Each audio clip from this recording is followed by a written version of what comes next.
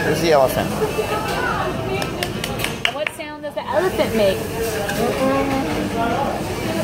Alright, let's find the bee. Here's the bee.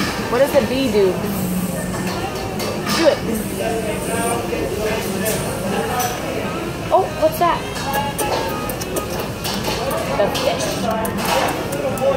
How about the banana? Where's the banana? Banana. Where's Elmo? Elmo. The letter E for Elmo. Where's Elmo's nose? Yes. Where's Elmo's eyes? Yes.